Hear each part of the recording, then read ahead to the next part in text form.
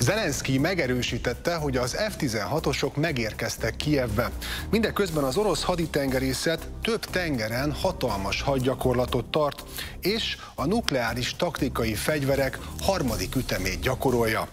Aztán a Fekete-tenger birtoklása kulcskérdés. Egy amerikai agytrösz szerint Ukrajna pedig a krími híd lerombolására készül.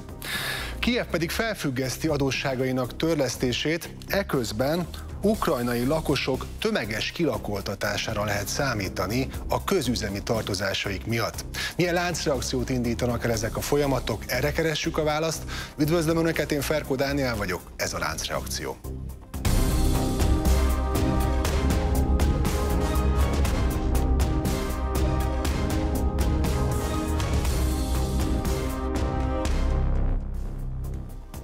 Akik pedig a kérdésekre válaszolnak, Vukic Ferenc katonai szakértő és Mihálovics Zoltán a Makronom Intézet geopolitikai elemzője. Uraim, köszönöm, hogy elfogadták a meghívásunkat.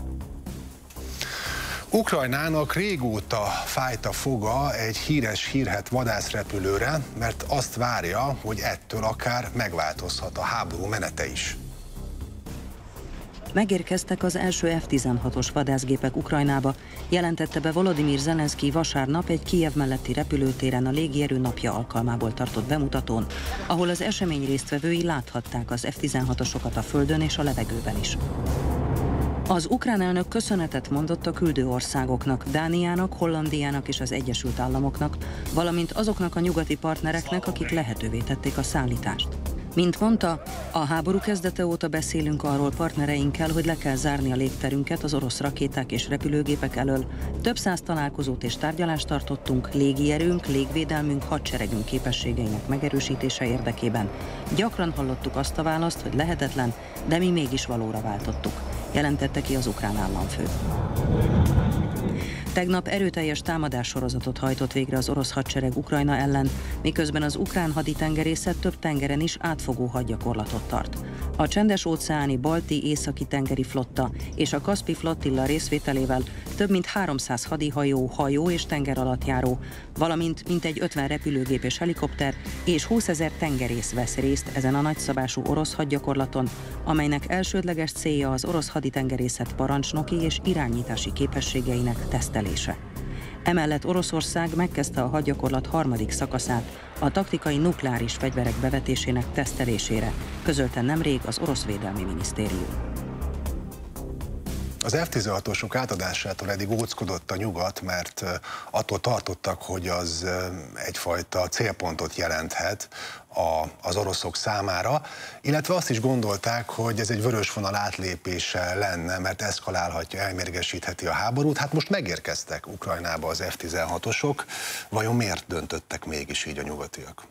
Hát ugye a vörösvonalaknak a folyamatos átlépését tapasztalhattuk meg eddig, tehát lépésről lépésre sikerült ezeket a vonalakat bentebb tolni, és hogy továbbra is folyik a tesztelés, hogy meddig tart Oroszországnak a, a türelme ezzel a a, az ügyel kapcsolatosan. Ugye az F-16-osok azért is fontos problémakör az oroszok számára, mert ezek az eszközök alkalmasak ugye atomfegyvereknek a, a szélba juttatására is, és ugye ez egy kifejezett veszélyforrás jelentett a számukra. Az elmúlt időszakban azonban például ennek az F-16-os program az nem volt annyira sikeres, mint amennyire az ukránok szerették volna. A Ramsteini találkozók során mindent megtettek annak érdekében, hogy ez minél hamarabb történjen, meg minél több gép érkezzen meg, és minél modernebb eszközök eszközökkel szereljék fel ezeket a repülőgépeket, de ezek eléggé sokáig várattak magukra, még az első eszközök megérkeztek, ráadásul a pilótáknak a kiképzési programja se sikerült túl jól. Először az angol nyelvi problémák voltak, a, a, a, a, a, amik nagy gondot okoztak, aztán utána pedig az, hogy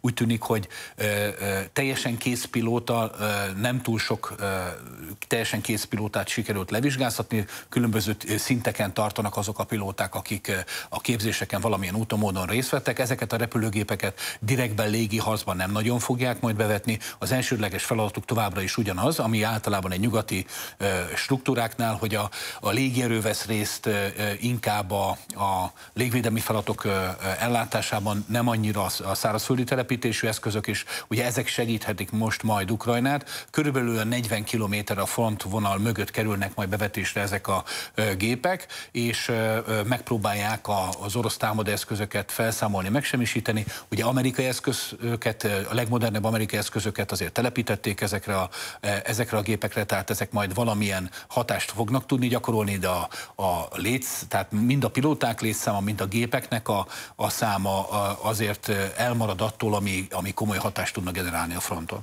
Ugye ez egy katonai kérdés, hogy az F-16-osokat még mindig az egyik legütősebb harci repülőknek tartják. Ugye az elmúlt időszakban inkább orosz előrenyomulásról lehetett hallani. Változtathat a háború menetén az F-16-osok bevetése?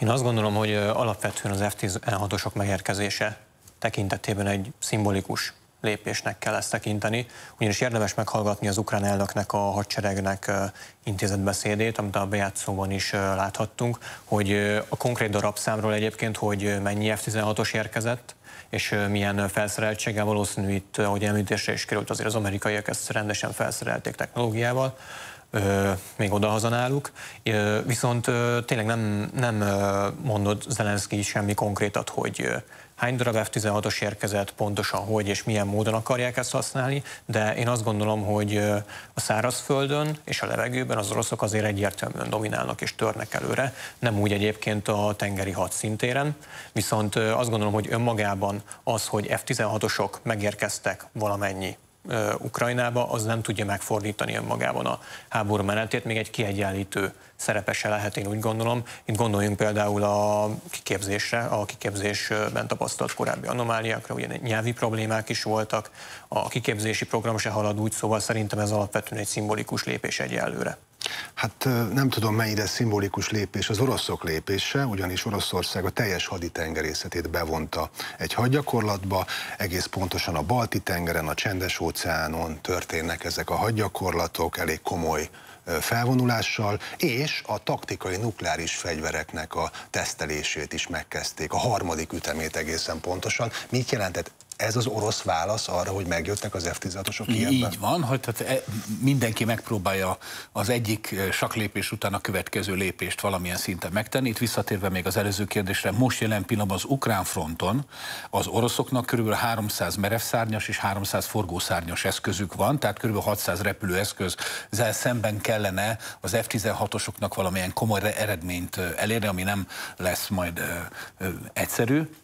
Döntő részében nem nagyon valószínű hogy komoly eredményt tudnak elérni. Itt pedig a válaszok pedig arról szólnak, hogy az oroszok továbbra is abban bíznak, hogy a nukleáris elrettentés valamilyen szintje mégiscsak majd ö, működni fog, és a következő ö, eszkalációs, ö, az eszkalációs létrán a következő lépéseket majd ö, egyre kellemetlenőbből fogják majd azok a szövetségesek megtenni ö, ö, ezeknek az intézkedéseknek a hatására, ö, mint amit terveznek. Nagy valószínűséggel az orosz titkosszolgálat is ö, tisztában van vele, hogy következő támogatások is még érkezhetnek Ukrajnába olyanok, amelyek újabb vörös vonalakat lép, léptethetnek át, és gondolom, hogy ezeknek a, a egyfajta figyelmeztetései akarnak lenni ezek a gyakorlatok és hadgyakorlatok. Egy nagy kérdés van, hogy hogy mik lesznek erre az, a NATO válaszai, és mik lesznek a, az ukrán válaszok. Eddig ezek megtörténtek. Az ukránok viszonylag sikeresek voltak a Fekete-tengernek a térségében, ott komoly eredményeket tudtak elérni, de ez döntő részében azért is volt így, mert a, az amerikai felderítési támogatás, tehát a legtöbb támogatás a, a ukrán akciók irányába mindig odaérkezett, amikor a Fekete-tenger irányába akartak valamilyen eredményt elérni. Na most mit jelent a, az, hogy Oroszországban a taktikai nukleáris fegyverek gyakorlatának a harmadik üteme megkezdődött. Várható itt is tükörválasz nyugati részről, illetve elmérgesítheti, vagy ahogy mondani szoktuk, eszkalálhatja ez a háború menetét? Az esélye ennek mindenképpen megvan. Ugye itt a nyugat ezekkel most legutóbb az F-16-osokkal, mint ahogy előbb is említettük, említésre került, ez egy újabb, úgymond tesztelése az orosz türelemnek, viszont a hadgyakorlat kapcsán azért, azt érdemes azért megjegyezni, hogy lépésenként jutott el ide az orosz fél, szóval korábban volt például ez úgy kezdődött, hogy önmagában az orosz fél végzett hadgyakorlatot, aztán egy következő etapban belépett hozzájuk a fehér orosz, fehér orosz csapat, és együtt kezdtek hadgyakorlatba. Volt egyébként Kínával is közös hadgyakorlatuk, szóval ez egy folyamatnak szerintem a betetőzése, és azért itt a nukleáris fegyverek kapcsán érdemes megjegyezni, hogy azért nukleáris fegyverek között is, atom és atomfegyver között is van különbség. Erről viszont konkrétum nincs, hogy azon kívül, hogy taktikai nukleáris fegyverek tekintetében gyakorolják ezeket a műveleteket. Menjünk tovább és nézzük meg most, hogy mi a helyzet a Fekete-tenger térségében, amely terület stratégiai szempontból rendkívül fontos, és hát a háború miatt fel is értékelődött a szerepe. Az ukrán erők eltalálták és elsüllyesztették a Rostovna-Donu orosz tenger alattjárót a Krimfélsziget partjánál, közölte szombaton az ukrán vezérkar. A kilőtt tengeralattjáró képes volt kalibr típusú nagyhatótávolságú rakéta indítására, amelyekkel az orosz hadsereg Ukrajna belső részét támadta a Fekete-tengerről. Kiev most azon dolgozik, hogy a következő hónapokban megsemmisítse a Krími hidat, jelentette ki Kirill Budanov, az ukrán hírszerzési főigazgatóság vezetője pénteken. A Krimfélszigetet az orosz szárazfölddel összekötő Kercsi híd ellen számos támadás történt a háború kitörése óta. Moszkva pedig a Krímet saját területének tekinti, és vörös vonalnak nevezte a térség elleni akciókat. A Krímfélsziget a Fekete-tenger ellenőrzése szempontjából kiemelt terület. A Fekete-tengerre pedig az Egyesült Államoknak geostratégiai szempontból nagy szüksége van, áll az amerikai kormány számára stratégiai ajánlásokat megfogalmazó Hudson intézet jelentésében. A tanulmány szerint a Fekete-tengeri térség az ásványkincslelőhelyek mellett kritikus geopolitikai csomópont, amelyet az Egyesült Államoknak nem szabad feladnia. A Hudson intézet figyelmeztet, idézem, a Fekete-tengeri térség stabilabb biztonsági környezetéhez meg kell erősíteni Ukrajna elrettentő erejét, és meg kell semmisíteni, károsítani vagy semlegesíteni Oroszország katonai infrastruktúráját és földi kommunikációs vonalait a Krím-félszigeten. A Fekete-tenger tehát kulcsfontosságú terület, ezt most az Egyesült Államok is érzi, illetve a Házal Intézet ajánlásként fogalmazta meg a Biden adminisztráció számára, hogy jobban teszik, hogyha a Fekete-tengerre figyelnek, és azt megpróbálja Amerika a saját hát, vonzásába tenni. Most lényegében az, hogy az ukránok támadnak, támadnak a Krimnél, elsüllyesztettek egy orosz tengeralattjárót. Ukrajna azt teszi, amit az amerikai intézet megfogalmazott az ajánlásában az amerikai kormánynak? Igen. De hát döntő részében, amit nagyjából tisztáznunk kell, az Egyesült Államok egy tengeri hatalom, mondjuk a brit, a főtámogatók, például a britek szintén egy tengeri hatalom, sokkal inkább érdekli őket a tengereken zajló események, mint amennyire érdeklik mondjuk az ukrán szárazföldi csapatoknak a, a teljesítményei. Tehát sokkal inkább fontosak a számukra. És akkor itt egy fontos dolgot tisztázunk, viszonylag a háború korai időszakában nagyjából az ukrán flotta megsemmisült, és használhatatlan és alkalmazhatatlan lett. Az ukránok a sikereket az orosz fekete-tengeri flotta ellenében nem ukrán hadiflottával érték el, hanem egy teljesen új megközelítéssel döntő részében például tengeri drónok alkalmazásával sikerült ezeket nagyjából elérni, ami át is alakította e, e, ezeket a kihívásokat. A másik fontos, amit tisztáznunk kell, hogy Oroszország azzal, hogy területeket foglalt el Ukrajnától, ezzel Ukrajnának a kizárólagos gazdasági övezetéhez tartozó vizekben is közelebb került mondjuk Romániának a, a hasonló területeihez, tehát hogy úgymond a, a közelebb kerültek a, a NATO országok és Oroszországnak a, a, a érdekeltségi területei, és ebből kifolyólag ez egy komoly kihívás, amit ők mindenképpen szeretnének valamilyen úton, módon felszámolni. Másik pedig az, hogy ugye maga a Fekete-tenger nagyon fontos energia gazdaság szempontjából egy nagyon fontos kereskedelmi csomópont, tehát nagyon sok minden érkezik meg innen, illetve a kínai kereskedelmnek is egy fontos eleme, tehát ennek a birtoklása, ennek a levágása, mondjuk a Fekete-tengerről Oroszországnak a levágása, ez biztosíthatná amúgy Ukrajnának a, a túlélését is. Érdekesség, ami megegyezni, hogy a nagyon távlati ukrán tervekben az is benne volt, hogy valamilyen úton, módon hogyan lehetne közös határokat létrehozni a kaukázusi országokkal, és hogyan lehetne amúgy elhatárolni Oroszországot teljes egészében a Fekete-tengeri térségtől, és itt végig gondoljuk a történelmet, hogy annak idején mekkora, milyen hosszú harcokat kellett folytatni a kialakuló orosz államnak annak érdekében, hogy a Fekete-tengeri térségbe valamilyen szerepet tudjon játszani, és fontos területeket el tudjon foglalni.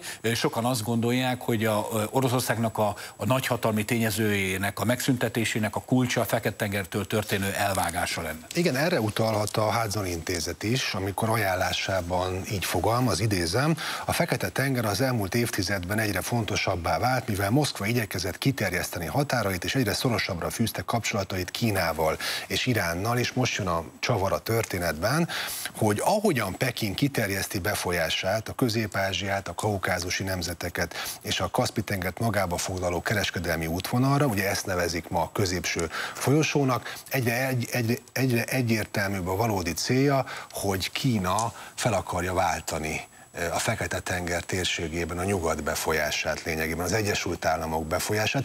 Tehát tulajdonképpen az Egyesült Államok most egy küzdelmet folytat, hogy visszavegye a Fekete-tenger térségét Kínától és Irántól, vagy visszaszorítsa ezeket a hatalmakat, és hát Oroszországot természetesen. Igen, van egy ilyen olvasata is a történetnek.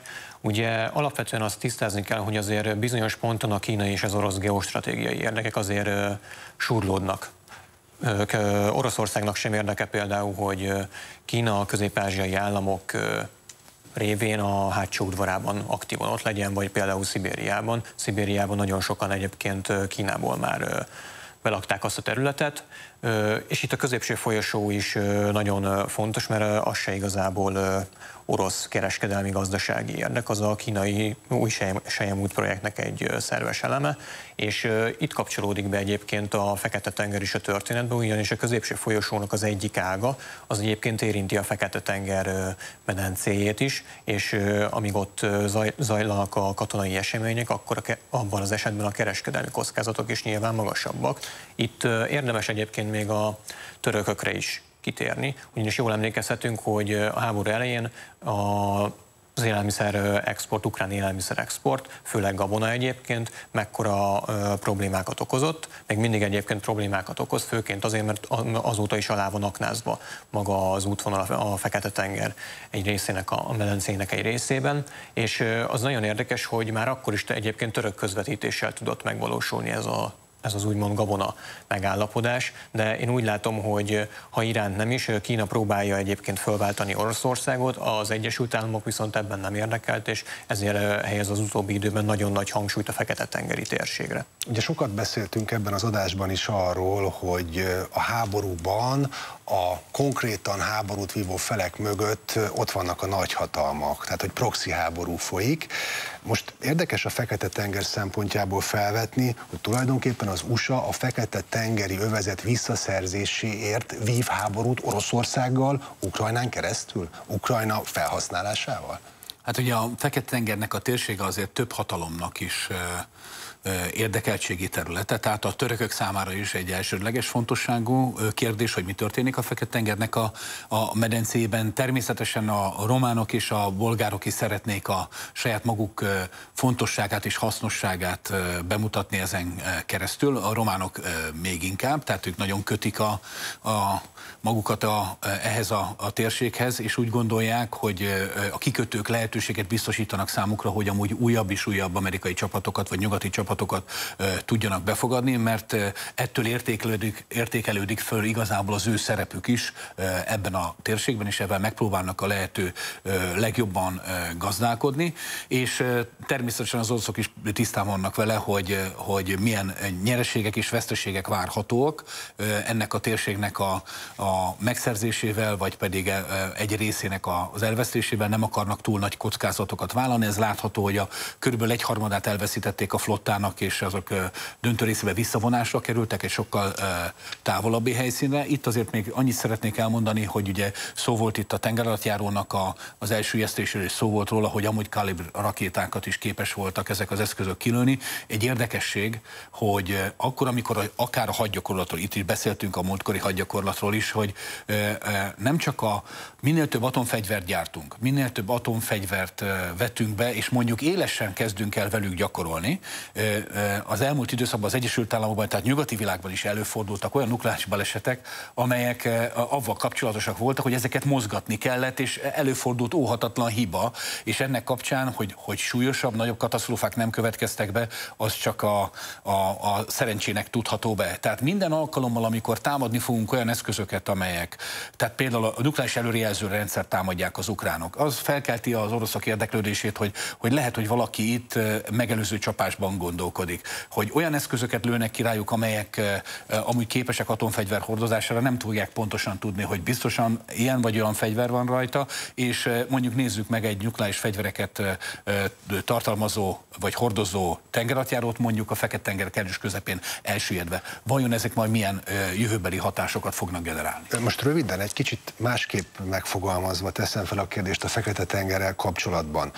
Az, hogy a Fekete-tengerért folytatott küzdelem hogyan dől el, tehát az, hogy itt Oroszország fog-e dominálni, vagy az Egyesült Államok és a NATO, itt az fog eldöni lényegében, hogy Oroszország kerül-e közelebb a NATO-hoz, hiszen ott van a Fekete-tenger partján Bulgária, Románia, vagy pedig a NATO fog Oroszországhoz közelebb kerülni, hogyha ő dominálja? Tehát ez a tét, ez is a tét? Ez is, igen, és ez egy nem kis tét. Hát ezért robbant ki az ukrán háború, az orosz-ukrán háború. Ez volt az egyik fő kérdés. Ez volt az egyik fő kérdés, és itt egyébként érdemes azt is boncolgatni egy kicsit, hogy a háború kezdete óta ugye Oroszország, mint itt említésre is került, foglalt el azért bőven területeket, és uh, itt a krími híd jelentősége az nagyon fontos, amit nem véletlen az ukránok már rengetegszer próbáltak meg, uh, meg felrobbantani, mert ugye az orosz hadseregnek ez az egyik fő utánpótlásvonal, ez a, ez a csapás irány az egyik legfőbb. Egyébként a háború kezdete óta, ha jól emlékszem, kétszer sérült meg maga a híd, de akkor se komolyabban. Itt ugye az ukránok drónokkal próbálkoztak, robbanószerekkel, meg amerikai rakétákkal is, de a híd, a híd az egyébként még épségben maradt, és Oroszország ezt egy vörös vonalnak is tekinti, ha már itt szó esett a többszörös vörös vonalak átlépéséről, és egyébként a itt, ahogy te is mondtad, az Egyesült Államoknak ez egyértelműen egy kulcskérdés a Fekete-tenger, már csak azért is, mert itt konkrétan a, találkozik a közel-kelet, találkozik a távol-kelet, Közép-Ázsia, Oroszország, Európa, szóval ez kereskedelmi csomópont is egyben, így mind Európának, a nyugatnak, és egyébként a távol- és közel-keleti országoknak is egyaránt érdekük, hogy ebben a térségben stabilitás legyen, és az a fő kérdés, hogy ez ki fogja dominálni a háború után, vagy a végén. Most rövid szünet következik, majd azzal folytatjuk, hogy a közvélemény kutatások szerint a németek ellenzik az új amerikai rakétatelepítés Németország területén, miközben Amerika az eddig tiltott Tomahawk rendszert vinni a térségbe. Ezzel folytatjuk, tartsanak velünk a szünet után is.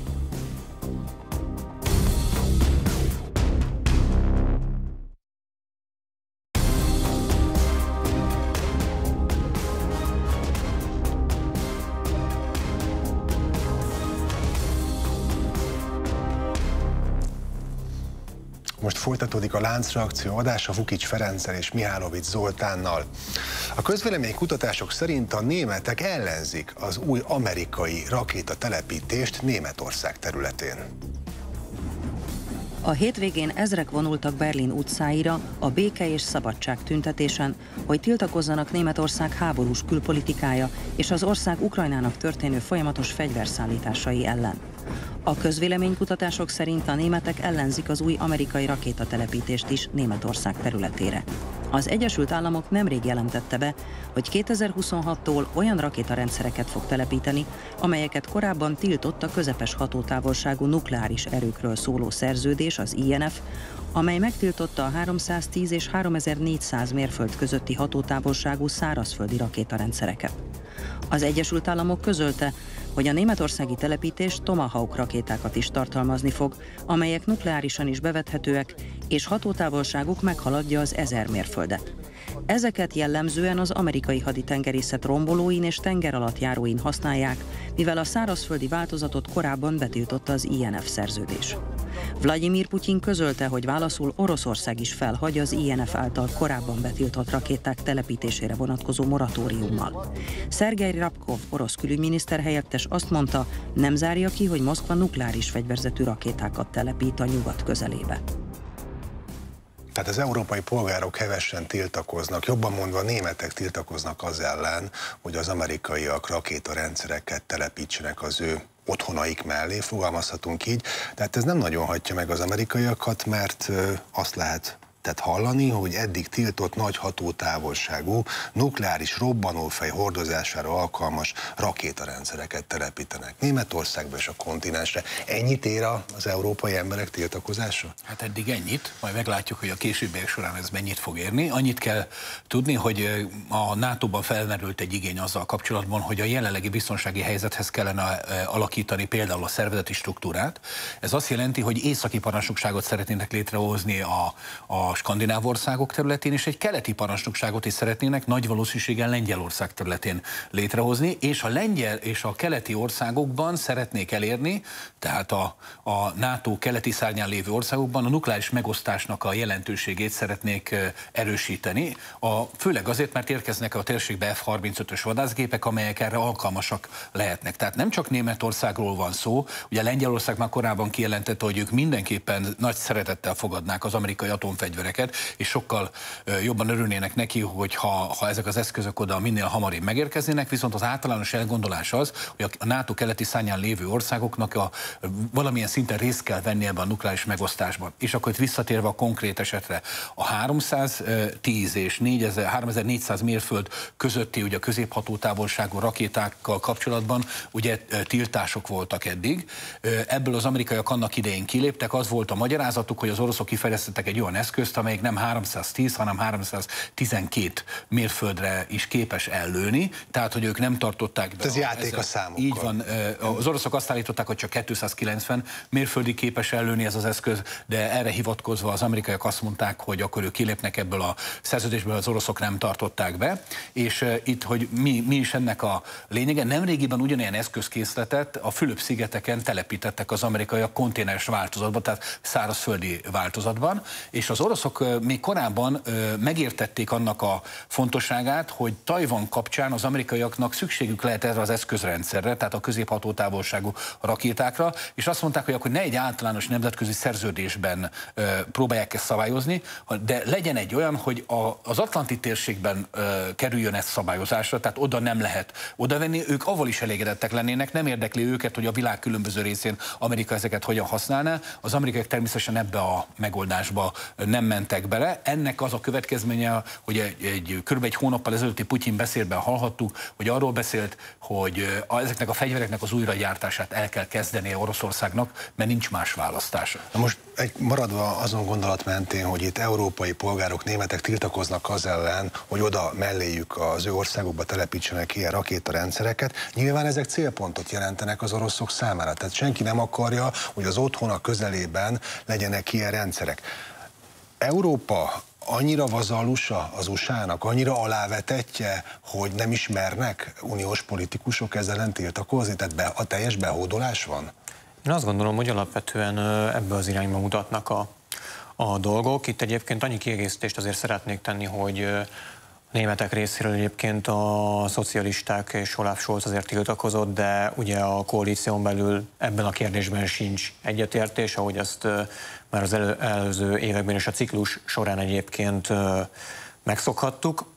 Ugye itt a költségvetés, költségvetési számokban se tudnak a németek megegyezni, és most egyébként a zöldek és a liberálisok részről a szocialisták ebből a szempontból sarokba lettek szorítva, és úgy tűnik, hogy ezt az Egyesült Államok végig fogja vinni, még akkor is, hogyha maga a német kancellár ez ellen tiltakozik, és egyébként a németek azért is tiltakoznak ezzel ellen ennyire, most ha nem a politikusokat nézzük, mert érzik, a, hogy az energiaárak agyonnyomják a gazdaságot, Németország nem tud növekedni úgy, ahogy a, a háború és a koronavírus járvány előtt tudott növekedni, a német cégek nem mernek úgy beruházni, mint mondjuk a francia vagy olasz cégek, tehát a konkrét versenytársaik, és a demográfiai problémák is agyonnyomják őket, az energiaárakról pedig a termelékenység is egyre nehezebben fog tudni működni. Most nézzük meg, hogy mit jelent ez egy bizonyos dolog fényében az, hogy ide Európába telepítenek az amerikaiak rakétarendszereket. Maga az Armageddon jöhet, annak fényében alapján, amit most mondott egy amerikai szakértő, idézem őt, fel kell készülnünk egy olyan világra, ahol az atomfegyver arzenára vonatkozó korlátok teljesen eltűnnek, modernizálva az Egyesült Államok nukleáris képességeit, ma és fel kell készülni a jövőre. Egy Vipin Narang, az Egyesült Államok űrpolitikáért felelős helyettes védelmi minisztere mondta ezt. Magyarán mondva nem csak rakétarendszereket, hanem nukleáris fegyvereket is hozhatnak ide Európába, mert hogy a korlátlanság lesz a jövő, bármit, bármikor lehet oda telepíteni és bevetni. Amire ők hivatkoznak, az, hogy a NATO-nak arra kell például felkészülnie, hogy úgy tűnik, hogy Észak-Korea, Irán, Kína, illetve Oroszország egyre inkább elmélyíti a védelmi együttműködését, és egyfajta új katonai szövetség jön létre velük szemben. Ráadásul a gazdasági együttműködés következtében, csak egy egyszerű példa, egyfajta belső piacot kezdtek el működtetni, ahol döntő részében például a kínai-orosz viszonylatban kettős felhasználó eszközöknek egy megnövekedett kereskedelmét láthatjuk, de ha akár csak Észak-Korea esetében, ami tényleg a világtól egy nagyon elzárt ország, képes volt Észak-Korea az orosz vásárlások következtében növelni például a lőszergyártó kapacitását, ami ez a megnövelt fegyvergyártó kapacitás, fegyver és lőszergyártó kapacitás, ez természetesen délt is veszélyezteti, és kimozdította abból a holdpontból, amiben éppen az észak-koreai gazdaság volt. Tehát látszik, hogy egymásra egyfajta belső piacként valami fajta ö, generáló hatást tudnak működtetni, és ugye erre, ez ellen felkészülve úgy gondolják, hogy a, az Egyesült Államoknak egyik nagy feladata, hogy modernizálnia kell, és ha kell, tovább kell növelni a nukleáris elrettentését. Ez az eszközök számának a növelését is jelenti, és óriási mennyiségű pénzt fognak elkölteni az elkövetkező években, mind a modernizálásra, mind pedig az eszközbővítésre, azért is, mert hogy úgy tűnik, hogy Kína legalább meg szeretné négy-ötszörözni az atomfegyvereinek a számát annak érdekében megfelelő elrettentés legyen. Az amerikaiak szeretnének ennek megfelelő mennyiségű elrettentő eszköz szintén telepíteni Kína közvetlen közelébe, és ugyanezt szeretnék elérni Oroszországgal is, ami pedig ugye nem tudjuk, hogy mennyivel fogja majd növelni Európa védettségét. Amúgy a nyugat-európai politikában a legtöbb nyilatkozat azt mondja, hogy igen, ez biztosítja Európa közvetlen védelmét, hogyha egy ilyen nukleáris ernyőt az amerikaiak biztosít biztosítanának az. Hát vagy inkább a célponttá válását biztosítja Európának, az merült fel bennem, hogy ugyanezek a kedves amerikaiak miért nem telepítik a nukleáris fegyvereiket a saját országukba, de hát a kérdés nyilván költői, hiszen egyfajta puffernek tartják ők Európát. No de a brit hadsereg vezetője, ugye a britek forródróton vannak az amerikaiakkal folyamatosan, és végrehajtják az utasításaikat, azt mondta Rolly Walker tábornok, hogy az Egyesült Királyságnak fel kell készülnie arra, hogy három éven belül egy nagyobb háborút vívjon, e, és figyelmeztetett arra, hogy Oroszország, Kína, Irán és Észak-Korea e, összefogtak, és valószínűleg velük kell majd egy globális háborút e, vívni, és a felforgatók tengelyének nevezte ezt a négy államot a brit hadsereg vezetője. Én azt gondolom, hogy itt azért láthatjuk, amit korábban is már említettem, hogy ugye a briteknél most alapvetően új kabinet alakult, most voltak a választások, és láthatjuk, hogy ebben a tekintetben igazából a torikhoz képest semmi változás nincs, ugyanolyan vehemensen képviselik ezt az álláspontot, mint a torik, és ezekben a kérdésekben is a háborúval kapcsolatos kérdésekben is egyébként ott kétpárti, konzervatív és munkáspárti konszenzus egyetértés szokott lenni, és ahogy te is mondtad, az amerikaiak igényeit az, már csak az angol száz testvériség jegyében is mindenképpen maradék nélkül kielégíték, viszont én ezzel kapcsolatban kicsit szkeptikus vagyok, vagy elhamarkodottnak tekintem a, ennek a tábornoknak, a brit tábornoknak a kijelentését, ugyanis Oroszország, Kína, Irán és Észak-Korea együttműködése alapvetően nem, nem védelmi fókuszú elsősorban. Nyilván van olyan szegmense is, de alapvetően gazdasági fókuszú.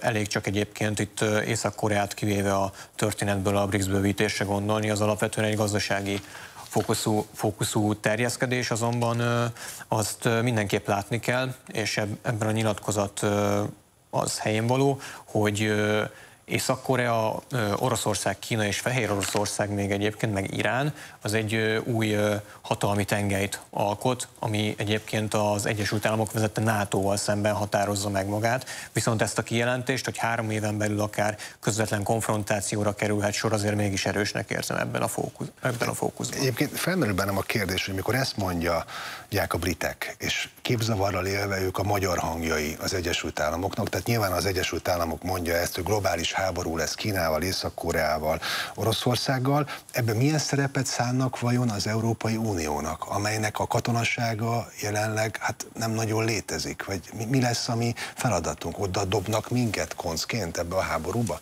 Érdemes figyelni az ukrán eseményeket, ahol úgymond most a NATO kezdte el koordinálni a, a fegyverállamlást Ukrajnába, de ezt a koordinációs feladatot, és új központ jött létre, amelyik ennek a feladatot el kell, hogy végezzen, az ugye Németországból átköltözött ugye Brüsszelbe, de ezt ugyanaz az amerikai tábornok vezeti. Mit jelent? Az, ami azt jelenti, hogy Európának kell fizetni, Európának kell felelősséget vállalni, de a vezetést továbbra is az amerikaiak tartják a kezükbe. És akkor még egy fontos, hogy mivel mármint hogy mivel akar felkészülni, akár mondjuk a brit tábornok is. Ugye nemrégiben készült nagy nyugati tanulmányok, amelyek készültek, azokról szólnak, amikről itt az adásokban beszéltünk az elmúlt időszakban. Tehát, hogy érdemes ezeket a legújabb szakmai anyagokat elolvasni az, el, az elmúlt időszakban, amelyek megszülettek, mert körülbelül ugyanazokat a megállapításokat teszik, mint amit ebben a műsorban megtettünk. De ebben például némelyik tanulmány arról beszél, hogy például a brit haderő, amit a egyik legpontensebbnek tartanak Európában, az nagy valószínűséggel körülbelül egy hétig tudna mondjuk egy konfliktusban kitartani és rendelkezni elegendő lőszerrel, rakétával, fegyverrel és tartalékkal. Észak-Korea, Oroszország? Nem, nem, csak egy mondjuk egy Oroszországgal folytatott konfliktus kapcsán, tehát ha annak az intenzitását, a harcok intenzitása, ami Ukrajnában van, ugyanaz, ugyanazt kellene elszenvedni a brit hadseregnek, akkor ez mennyi lenne? Ne felejtsük el, a Bakmuti csatában majdnem egy, egy brit haderő, nagyságú erő tűnt el a két fél részéről, tehát olyan mennyiségű erő.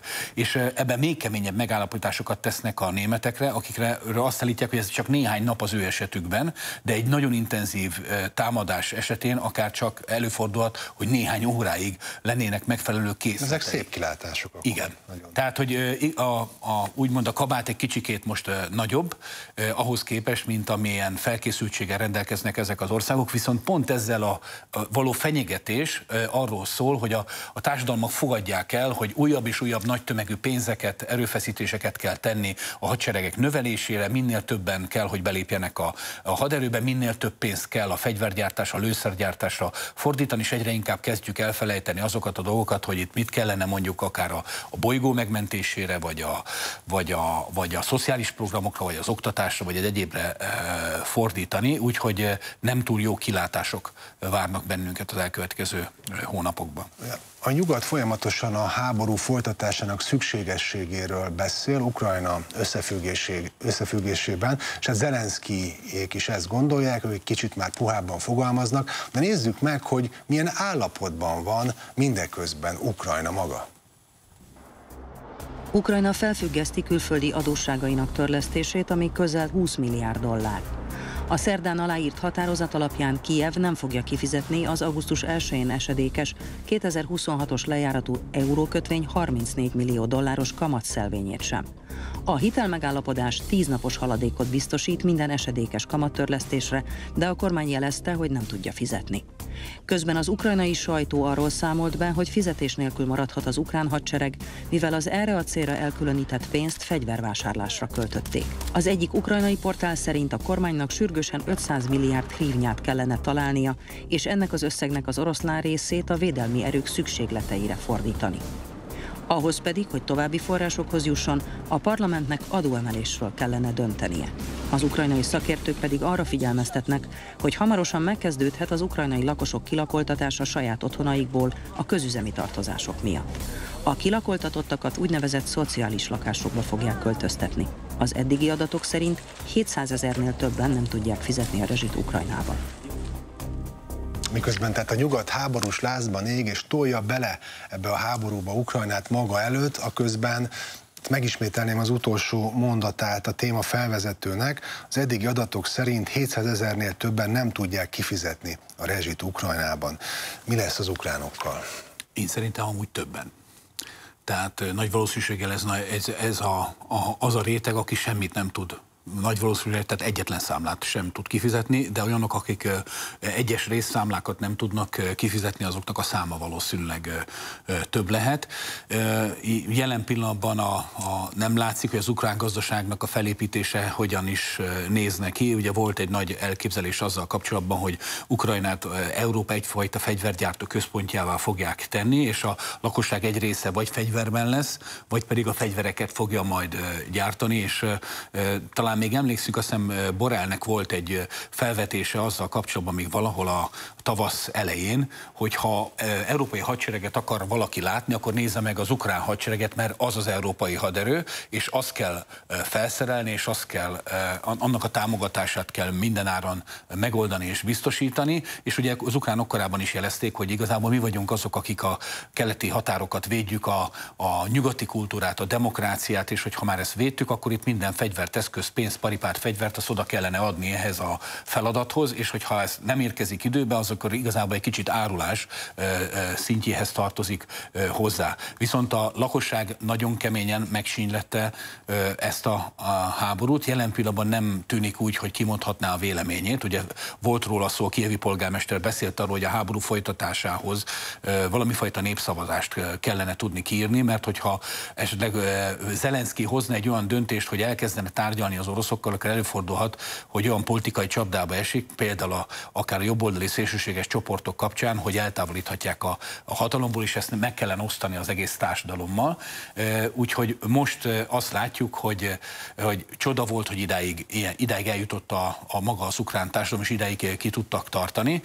Ennek ellenére nagyon pozitívan szemlélik egyes nyugati országok vezetői továbbra is a, az ukrán helyzetet. Úgy gondolják, hogy még mindig van 4,6 millió katona, akit majd bevethetnek az ukránok, akiket föl lehet áldozni egy ilyen jellegű háborúban, és a, a korábbi megállapítások, hogy addig támogatjuk Ukrajnát, amíg lehet, lehet, hogy egy igazából át kell majd formálnunk, hogy lehet, hogy addig akarják támogatni, amíg ők úgy gondolják, hogy szükséges. Miálló Zoltán hogyan látja, milyen állapotban van az ukrán lakosság, a társadalom? Úgy látom, hogy egészen katasztrofális.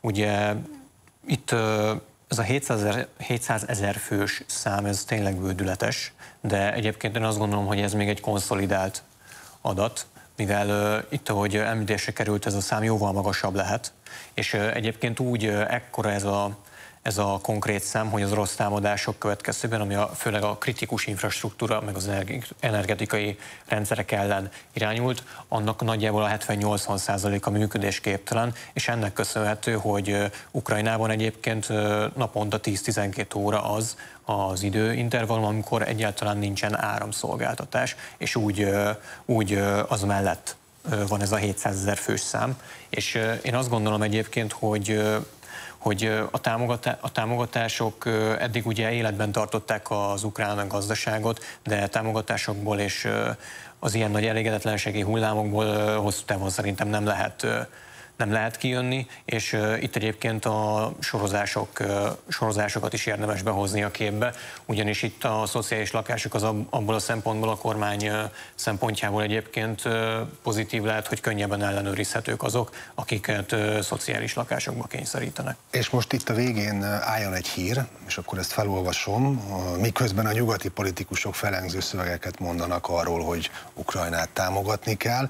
Aközben itt szól a hír, Kovel városában a helyi lakosok megostromolták a helyi katonai nyilvántartási besorozási hivatalt, ahol a sorozó tisztek fogva tartották az utcán elfogott ukrán férfiakat. Meddig tűri az ukrán társadalom, hogy mészárszékre hurcolják őket lényegében? Jelen pillanatban annyit kell tudni, hogy, a, hogy felvetődtek ukrán ellenzéki politikusokban olyan elképzelések, hogy lehetetlen, hogy zombi hadseregeket építsenek föl Ukrajnában, vagyis olyan katonákat küldjenek ki a harctérre, nagyon gyengén felszerelve, akik se képzettséggel, se pedig kedvel nem rendelkeznek ahhoz, hogy ebbe a háborúba valamilyen úton, módon részt vegyenek.